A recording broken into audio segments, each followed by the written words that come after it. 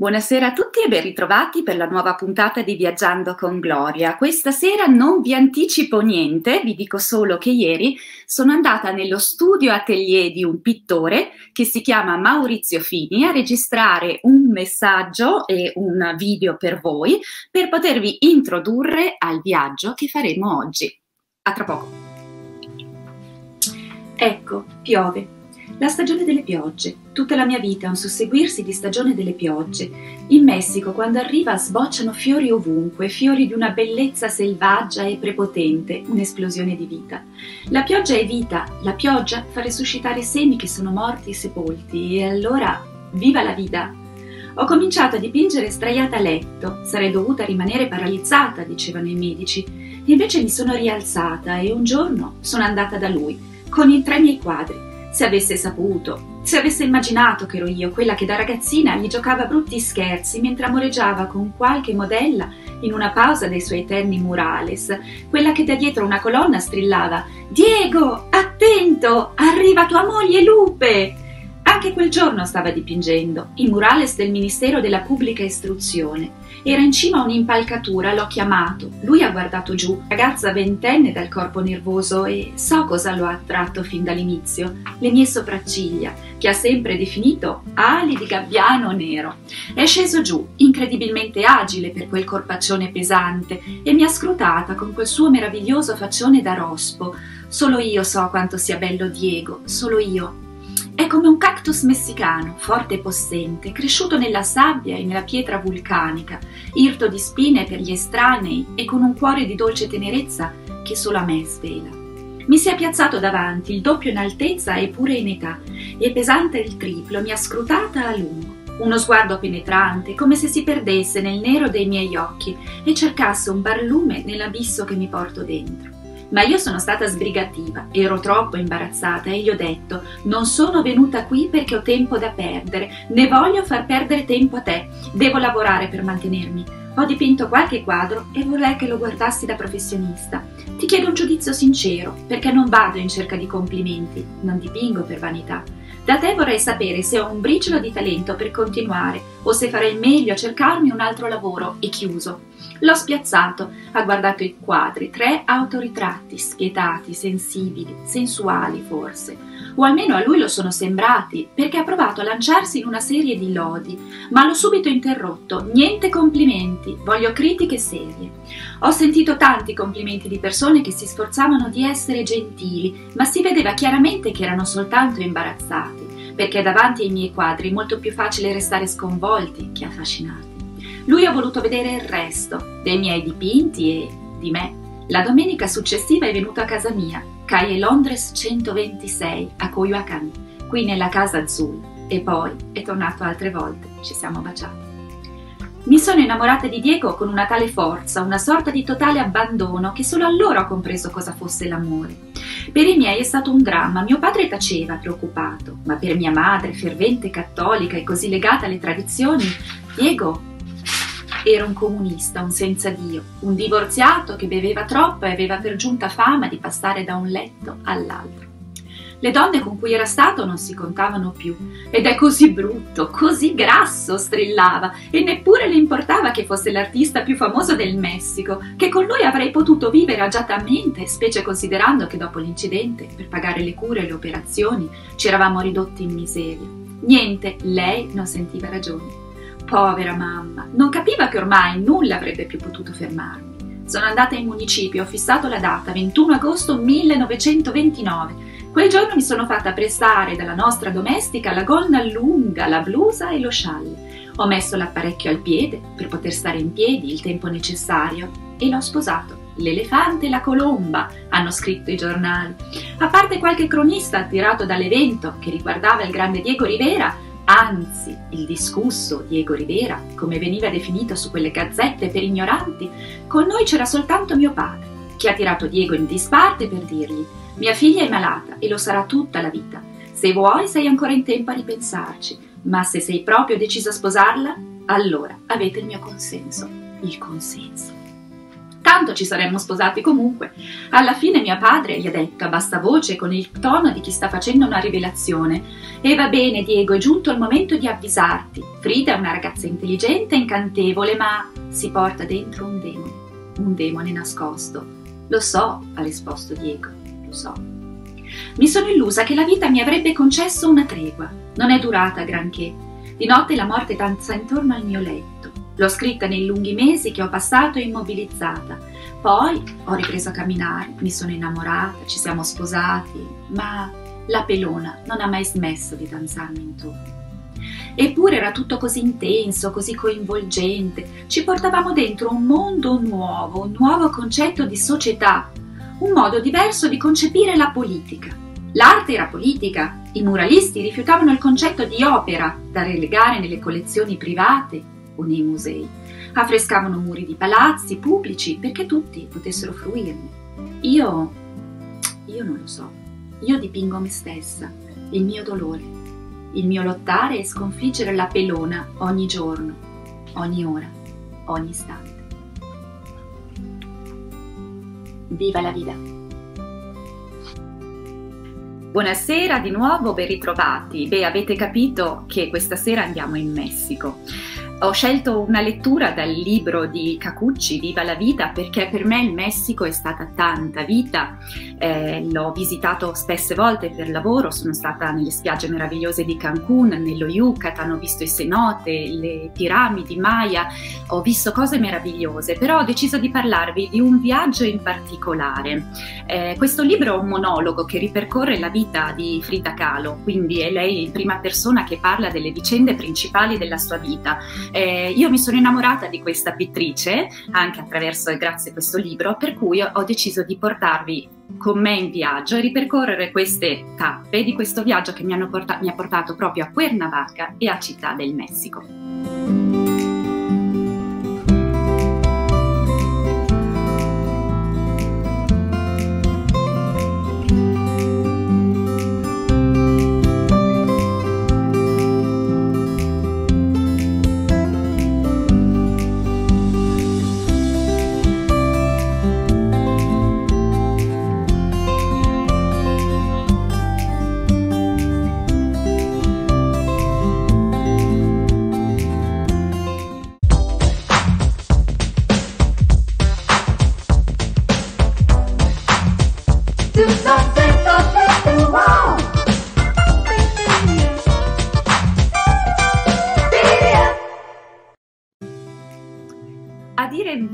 Stato il film Frida eh, di Julie Taymor, eh, praticamente con una Salma Hayek meravigliosa, veramente autenticamente brava e autenticamente messicana, che è riuscita a eh, riproporre una Frida Kahlo meravigliosa ed è stato proprio quel film che mi ha fatto eh, avvicinare sia alla pittrice che poi a questa straordinaria eh, vita che hanno da raccontare sia lei che il marito Diego Rivera, i più grandi pittori del Messico. Eh, a Cuernavaca, che è a 80 km da Città del Messico, era andata a trovare Veronica, una ragazza, un'amica che ha abitato per tanti anni in Messico. Quindi ho approfittato di questa amicizia per andare da lei e ovviamente insieme a me l'ho portata per tutta la, eh, diciamo per tutte le, le, destinazioni principali dove si potesse vedere Frida Kahlo e anche Diego Rivera. Eh, Cuernavaca è detta anche la città dell'eterna primavera perché ci sono sempre 27 gradi gradi di media, quindi una temperatura meravigliosa. E di quel posto io ricordo tre cose in particolar modo. Le bougainville sono dei fiori meravigliosi, dei cespugli che escono da tutti i giardini, un'esplosione di colore e sono veramente meravigliose, il clima aiuta e fa sì che siano nel loro habitat naturali. Ricordo anche una certa pericolosità di Cuernavaca perché proprio gli amici che vivevano lì mi raccontavano che in effetti c'era anche questo aspetto di questa città dell'eterna primavera in realtà. E poi la cosa, la vera rivelazione di Cuernavaca per me sono stati i murales di Palacio de Cortés, i murales di Diego Rivera, che era il marito di Frida Kahlo. Io non lo conoscevo, quando si parla di serendipity si può intendere proprio questa cosa, perché io conoscevo lei e sono andata in Messico per cercare lei, ma in realtà ho trovato anche lui. E ho iniziato veramente ad apprezzarlo, perché Diego Rivera è considerato il più grande pittore muralista del Messico, eh, ha creato un'opera gigantesca, meravigliosa, dei murales che non solo sono arte, ma sono anche storia, la vera storia del Messico, perché lui in realtà all'interno dei suoi murales che dovevano essere dei veri e propri manifesti anche politici, ha veramente disegnato tutto, tutta la storia del Messico, ha messo le facce delle persone a lui care, le persone che lui ad esempio anche ha odiato politicamente parlando, quindi i suoi murales veramente sono un patrimonio. Dovete sapere che dopo Cuernavaca ho trascinato tutti i compagni di viaggio a Città del Messico, perché quella era la mia destinazione del cuore. Io volevo proprio andare a ritrovare i due pittori e vederli in tutti i luoghi dove si potessero trovare.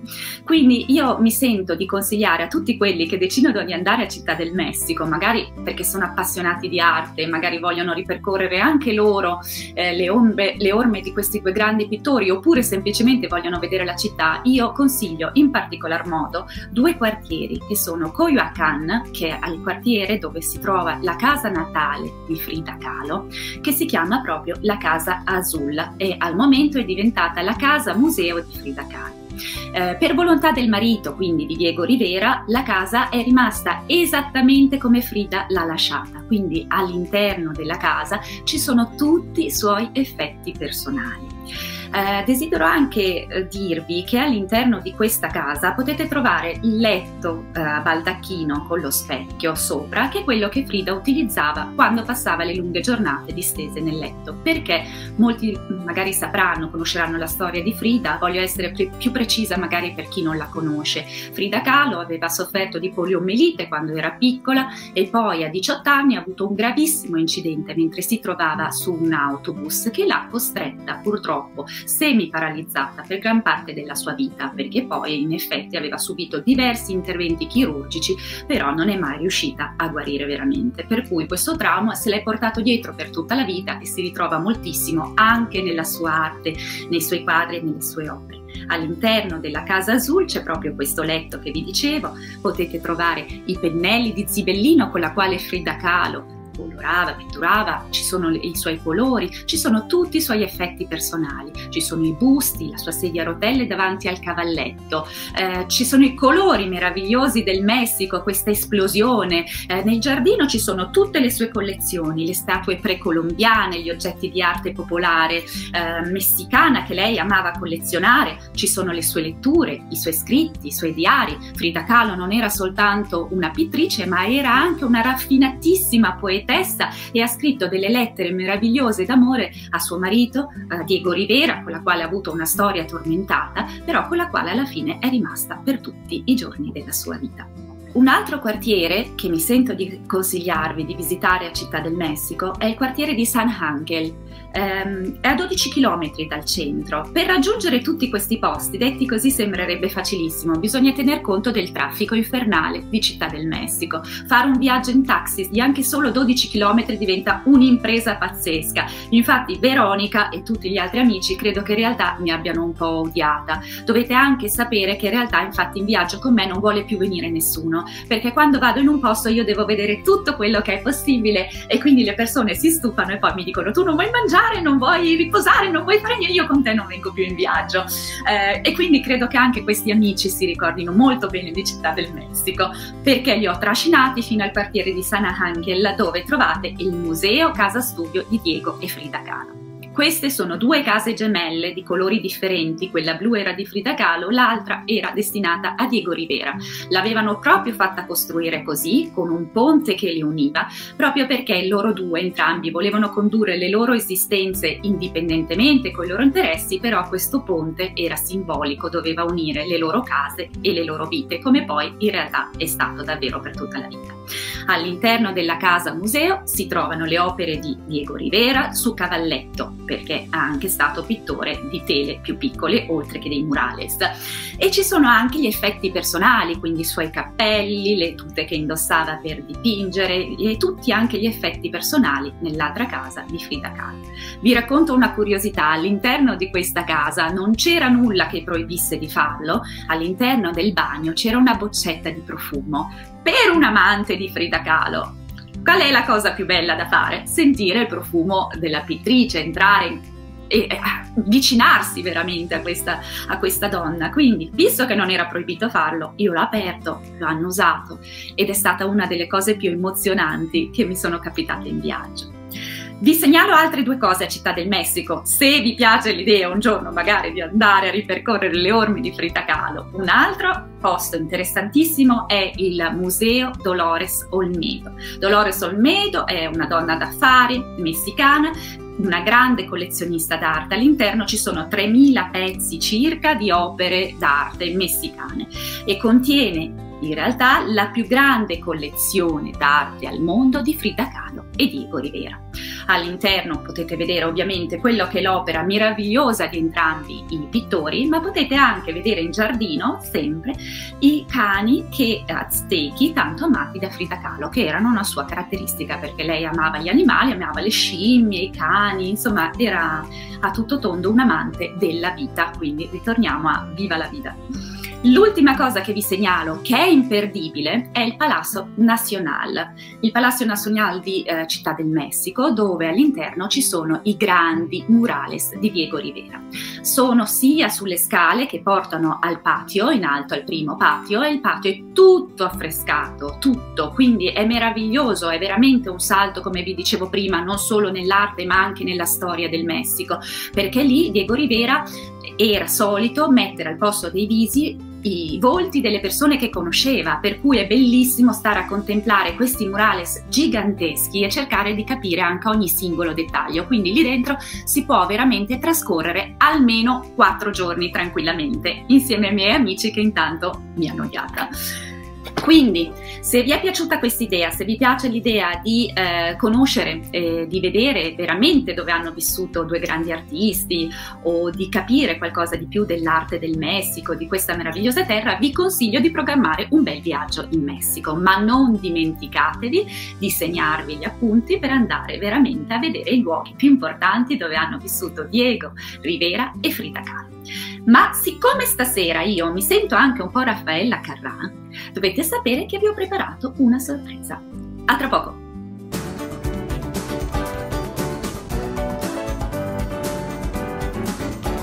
A Via 1 TV. La TV per tutti.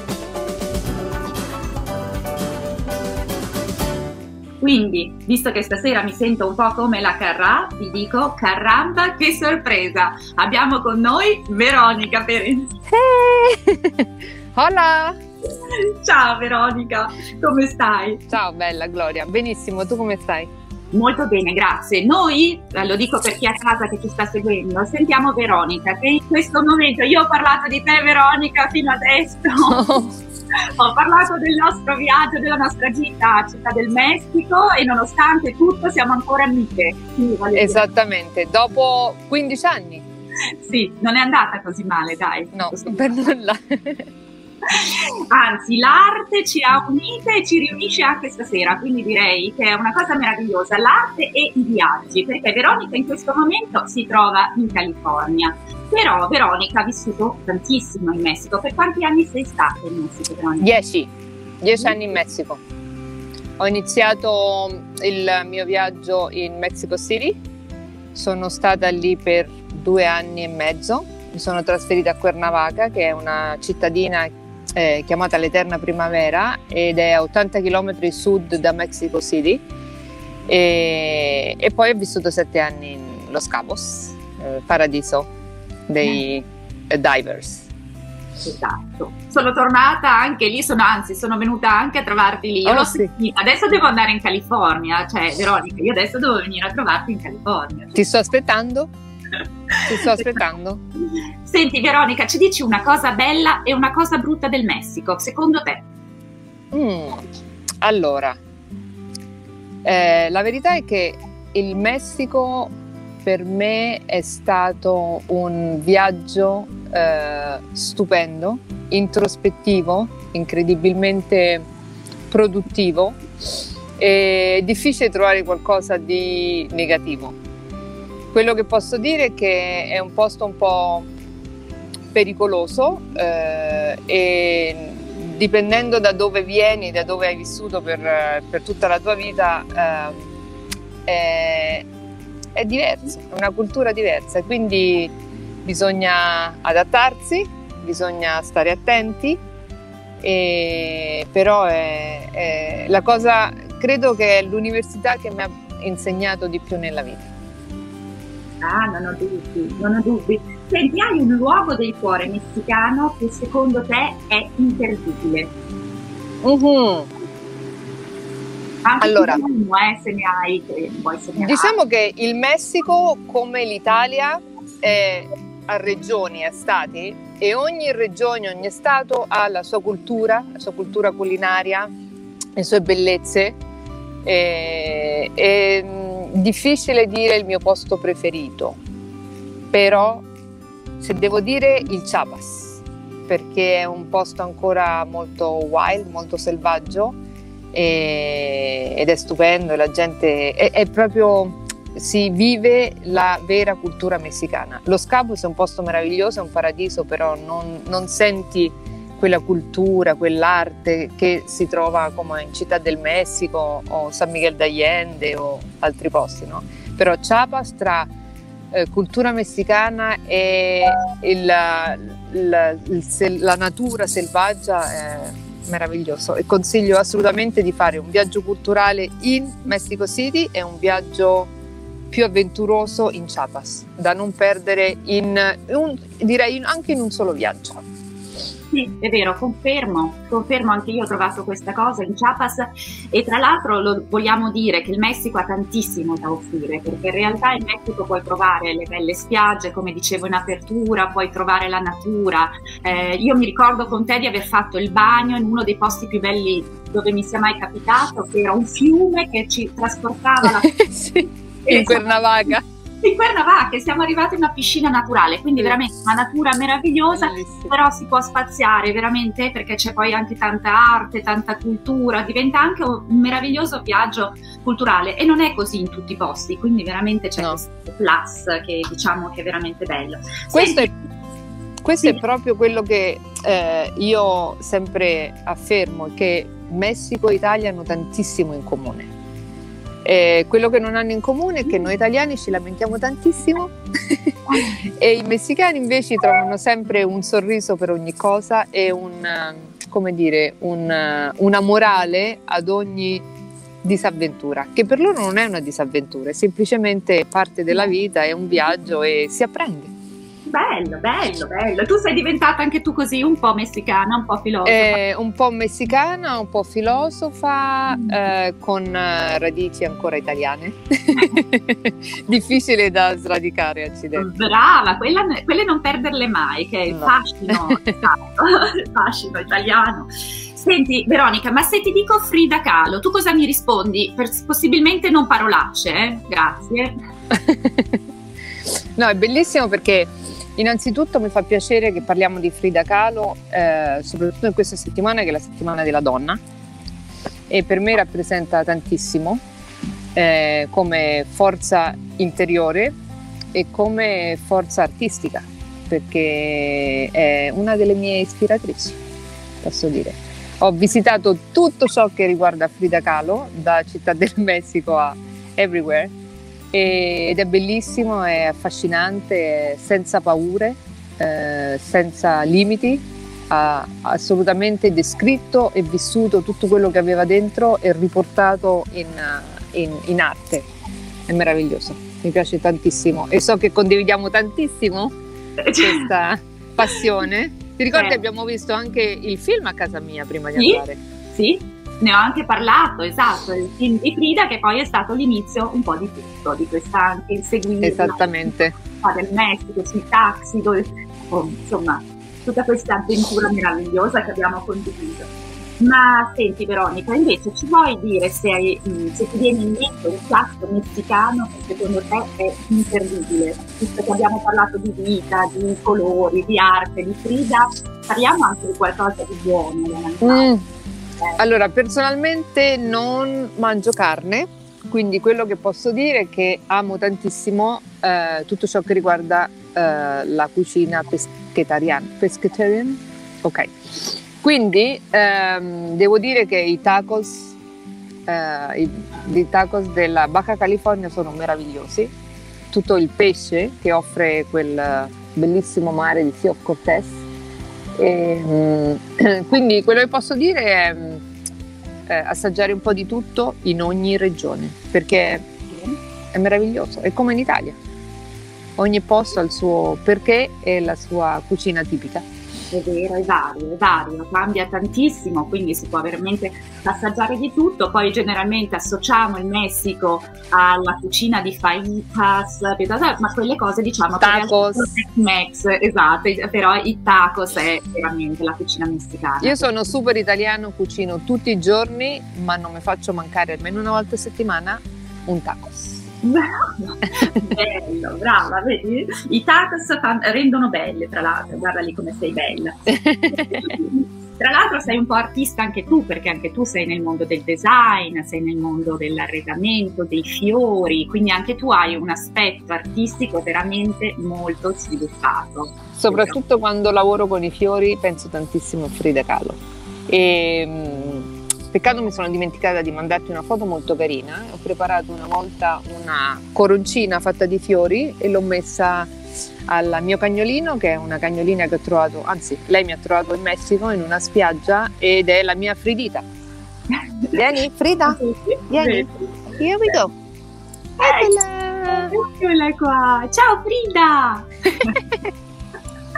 Meravigliosa, grazie Veronica. Senti, siccome hai parlato di Messico, hai parlato yes. ancora che un po' d'Italia ce l'hai ancora nel cuore, e io chiedo una cosa perché ho un, un ricordo di te, eh, cioè ma tu canti ancora a squarciagola le canzoni con il microfono finto, ce l'hai ancora?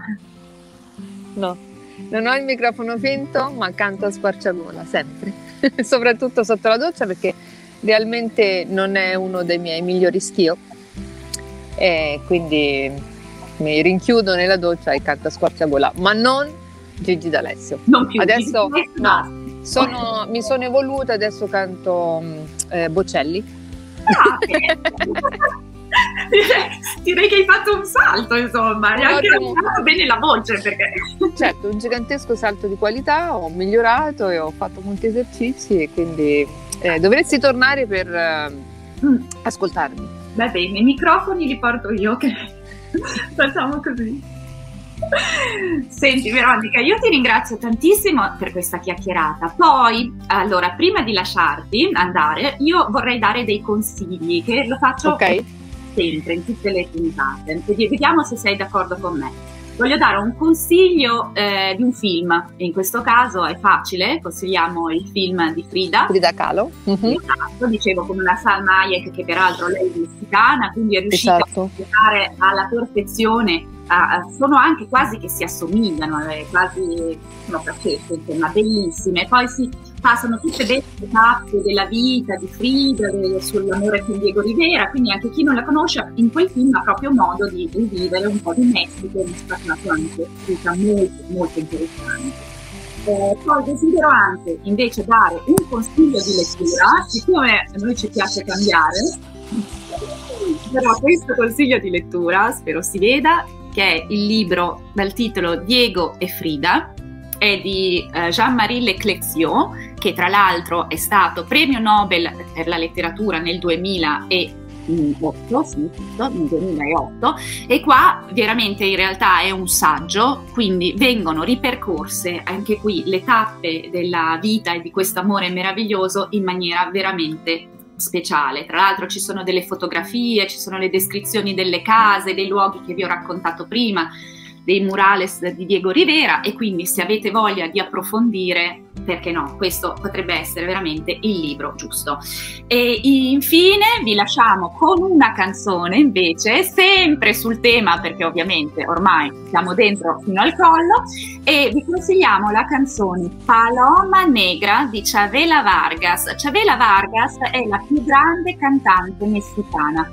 Salma Hayek, che l'ha fortemente voluta nel film Frida, e quindi infatti ha fatto la colonna sonora di questo film meraviglioso, ha detto di Chavela Vargas. Chavela non è una cantante messicana, Chavela è il Messico. Quindi direi che chiudiamo veramente questo meraviglioso viaggio che abbiamo fatto stasera. Desidero ricordare a tutti quelli che ci seguono che all'indirizzo info chiocciolapavia1tv.it potete mandarci le vostre segnalazioni e suggerimenti. Ovviamente restiamo a disposizione. Desidero salutarvi salutare Veronica con un fortissimo abbraccio.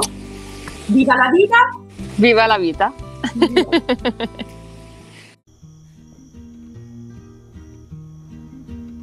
ya me canso de llorar y no amanece.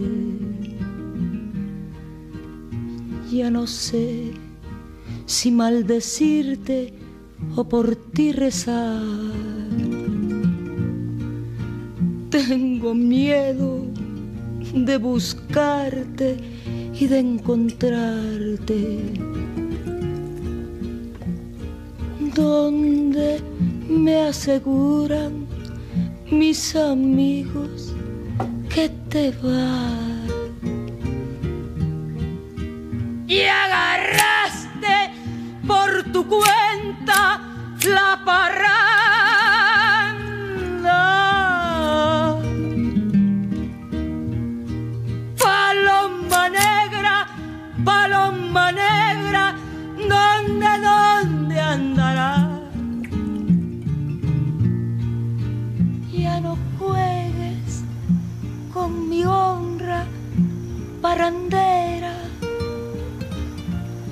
Si tus caricias han de ser mías, de nadie más. Y aunque te amo con locura, ya no. ¡Vía! ¡Vía! ¡Fuere!